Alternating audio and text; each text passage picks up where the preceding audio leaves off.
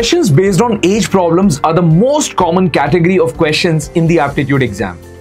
What we need to keep in mind while we look to solve a age problem is A. Assumption of variables. Always assume relevant variables for any question. Example, instead of assuming X and Y in a question on the ages of Ram and Sham, we must have R and S as the variables respectively. B.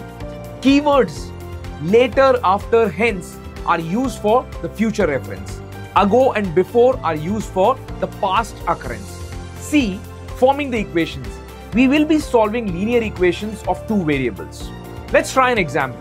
A is 2 years older than B, who is twice as old as C. If the total ages of A, B, and C is 27, how old is B?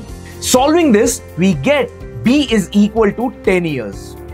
Remember, assumption of variable, keywords, and solving linear equation is the trick.